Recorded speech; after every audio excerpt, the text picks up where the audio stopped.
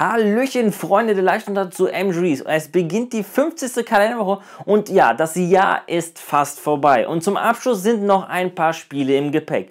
Die Spiele, die ihr jetzt hier seht, sind die, die diese Woche erscheinen. Vom 10. Dezember bis zum 16. Dezember 2018.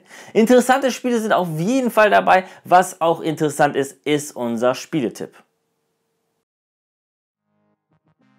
Unser Spieltipp diese Woche ist Knights of Pen and Paper 2. Knights of Pen and Paper 2 erscheint diese Woche als Deluxiest Edition für Konsolen. Spielt als Gruppe von Pen and Paper Spielern ein Pen and Paper Rollenspiel. Macht euch auf eine Welt der Reiter, erstklassigen Kriegsführung und Offbeat Pop-Up Referenzen bereit. Im Sequel des erfolgreichen und preisgekrönten Spiels Knights of Pen and Paper. Knights of Pen and Paper 2 ist ein rundenbasiertes Pixel Art Abenteuer im Retro-Stil, voller Gefahren, Intrigen, Tod und Rettungswürfe. Das von Key Games entwickelte Knights of Pen and Paper 2 erscheint via Paradox Interactive am 11. Dezember 2018 für PS4, am 13. Dezember für Nintendo Switch und am 14. Dezember für Xbox One. Das Spiel ist mit einem PEGI 12 Rating versehen.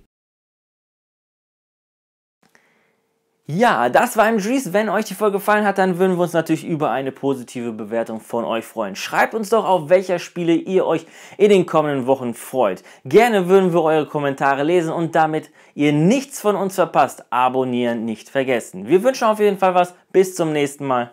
Ciao.